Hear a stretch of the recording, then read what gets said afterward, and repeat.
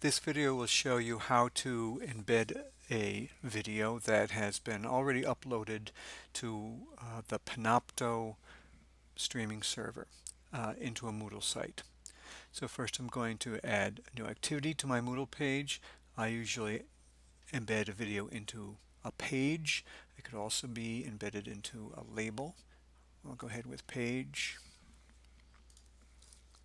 Give the page a name and now, not in the description area, but down here in the content area, you'll want to click on this button with the three green dots. That's the Panopto embed button. Then you will get this screen here where you can either choose a video that's already been uploaded, you can upload one yourself, or you can record yourself from your computer's camera. Uh, we're going to stick with choose because uh, we're going to be using a video that's already been uploaded.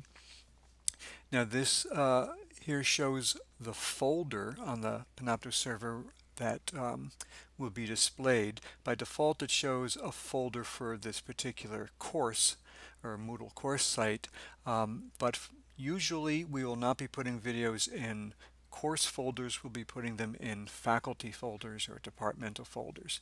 So click uh, on the side of that name and um, I'm going to click on the triangle next to departments.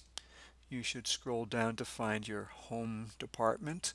I'm going to click on the triangle next to Hispanic Studies. Now if you are in a department like this one uh, where the members of the department have agreed to share video materials among themselves, you can click right on the department name and find those shared videos. Um, otherwise, or in some cases in addition to that, there may be individual folders for various faculty members who have um, videos on the server. Uh, and you can click on those for other videos. Um, you can scroll through these. You can use the search uh, function. When you find a um, the video that you want, check on the checkbox next to it. Um, um, click on the insert button and that video will be inserted into your page and you can save the page.